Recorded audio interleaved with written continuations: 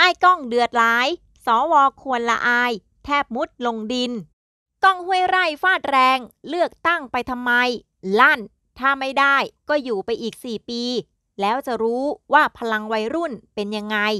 เป็นอีกหนึ่งคนที่มักจะออกมาแสดงความคิดเห็นเกี่ยวกับเรื่องการเมืองสำหรับก้องห้วยไล่ที่ล่าสุดออกมาประกาศว่าจะใส่เสื้อสีส้มไปขึ้นคอนเสิร์ต เย็นวันที่ 13 กรกฎาคม แม้หลังจากนั้นจะทราบว่าผลการประชุมร่วมรัฐสภาเมื่อวันที่ 13 กรกฎาคม นายพิธาลิ้มเจริญรัตน์แคนดิเดตนายกพรรคก้าวไกล แพ้โหวตด้วยคะแนนเสียง 324 ไม่ถึงเกณฑ์ 375 ทำให้ไม่ได้รับเลือกเป็นนายกในการโหวตรอบแรก แต่เจ้าตัวก็ยังคงใส่เสื้อสีส้มขึ้นคอนเสิร์ต โดยมีคนถ่ายคลิปโพสต์ลงในโลก TikTokขณะที่ก้องห้วยไร่ พูดในคอนเสิร์ตด้วย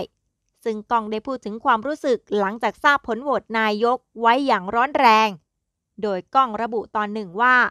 บ้านเมืองอื่นเขาเลือกนายก จนบริหารประเทศได้ แต่พวกเรายังอยู่กับที่ แล้วเป็นอะไร แพ้คือแพ้ จะหาเหตุผลทำไม หลายคนต้องเดินทางจากต่างจังหวัด เดินทางจากต่างประเทศเพื่อมาเลือกตั้ง เงินก็เสียกันเป็นหมื่นเป็นแสน ใช้งบ 6,000 ล้านในการเลือกตั้ง ไม่มีใครจะเหมาะสมเท่ากับเขาแล้ว จะเอาใครเป็นนายกถามหน่อย ถ้าเกิดว่าดีเรายินดี ชีวิตประเทศไทยเราเปลี่ยนแปลง